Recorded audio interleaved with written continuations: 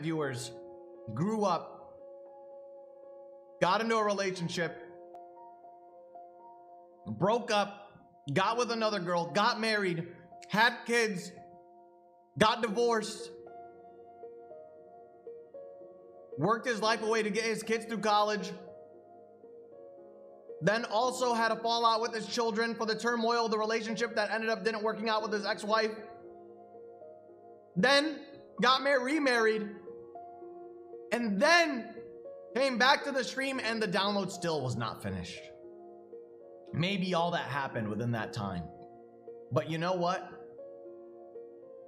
At least we are at the finish line.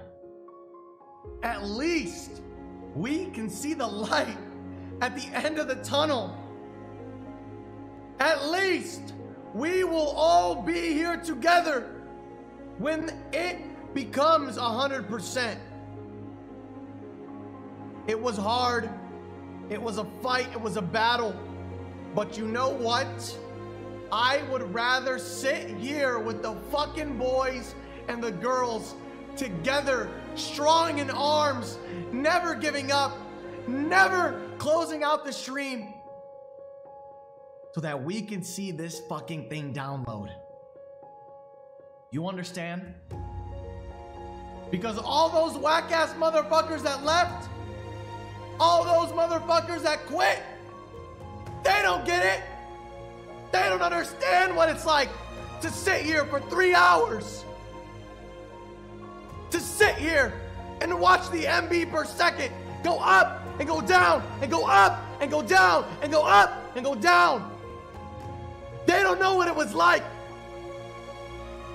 while we were begging, begging for gifted subs so that I could buy an SSD and use your money to do it. They don't know! They'll never know! So when this download hits 100%,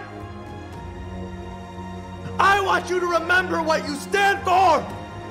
I want you to remember why you're here. You are here because you have the will and the strength to push forward, to stand by while others laugh in your face. You have the ability to be stronger than them all. And that's why, that is why we